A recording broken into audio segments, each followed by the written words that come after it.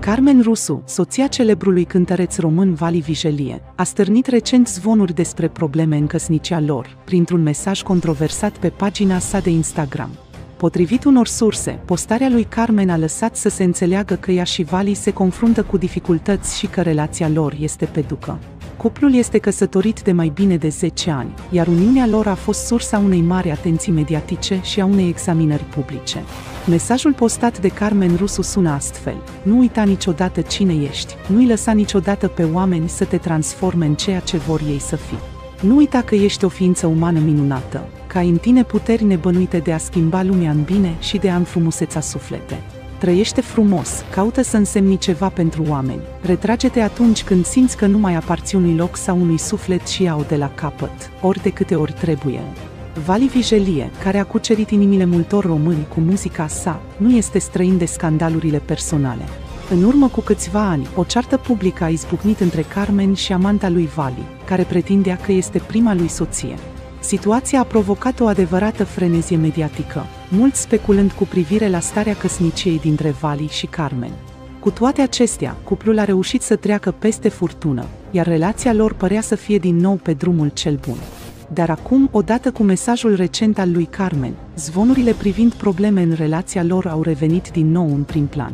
Mesajul a fost interpretat ca un indiciu că Carmen se confruntă cu vremuri grele și că mariajul ei cu Vali este în pericol. În ciuda speculațiilor, nici Carmen și nici Vali nu au comentat public situația.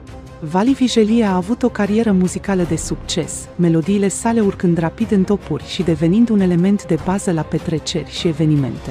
Cu toate acestea, viața sa personală a fost o sursă constantă de atenție din partea presei, iar zvonurile privind probleme în căsnicia sa vor genera cu siguranță mai multe titluri în zilele următoare. Cu un cuplu atât de mediatizat, rămâne de văzut cum va evolua această situație. În ciuda zvonurilor, fanii lui Vali Vigelie își păstrează speranța că el și Carmen vor reuși să treacă peste dificultățile lor și să iasă mai puternici de partea cealaltă. Controversatul cântăreț român Vali Vigelie se află din nou pe prima pagină a ziarelor după ce amanta s-a susținut că a fost prima soție a artistului. Afirmațiile amantei au stârnit o reacție imediată din partea soției lui Vigelie, Carmen, care spune că este singura femeie cu care cântărețul este căsătorit cu acte în regulă. Carmen a vorbit într-un interviu televizat recent, povestind circumstanțele în care s-a desfășurat relația soțului ei cu fosta amantă.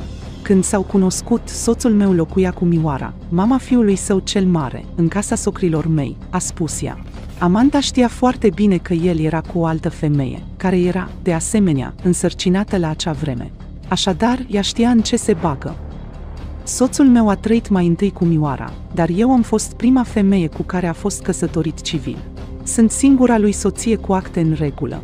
Reacția soției artistului a fost relatată și de Antena Stars, care a realizat un interviu în exclusivitate cu Carmen. Soția a subliniat încă o dată că, în momentul introducerii amantei în viața soțului ei, acesta locuia cu Mioara și că nu a existat nicio căsătorie între cei doi.